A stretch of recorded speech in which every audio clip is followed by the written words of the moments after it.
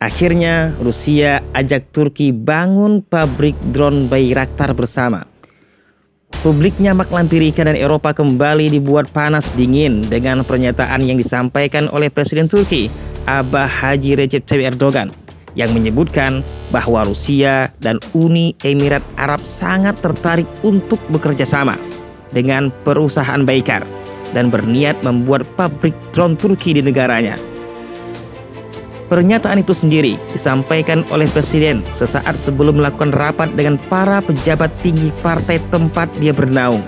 Sehingga akhirnya ucapan Presiden Turki ini membuat publik Eropa hebohnya luar binasa.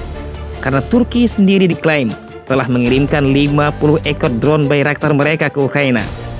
Dalam rapat tersebut, Presiden Erdogan memuji pencapaian industri militer Turki, terutama industri drone mereka di mana dia juga menyebutkan bahwa Uni Emirat Arab menawarkan untuk membangun pabrik Baykar di negaranya.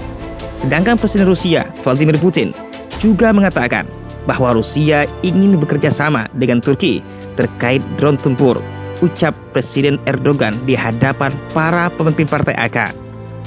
Tidak disebutkan lebih lanjut kapan Rusia mengajak Turki bekerja sama, namun diperkirakan tawaran proposal dari Rusia yang mengajak Turki untuk melakukan kerjasama di bidang drone terjadi ketika kedua pemimpin negara tersebut bertemu di Teheran, Iran.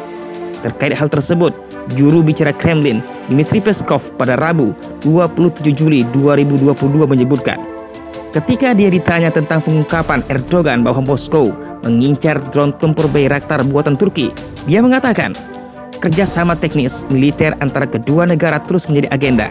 Kami mengakui bahwa interaksi kami dengan Turki telah berkembang di era sensitif dan itu menunjukkan bahwa secara umum hubungan kami berada pada tingkat yang sangat tinggi, imbuh juru bicara Rusia itu.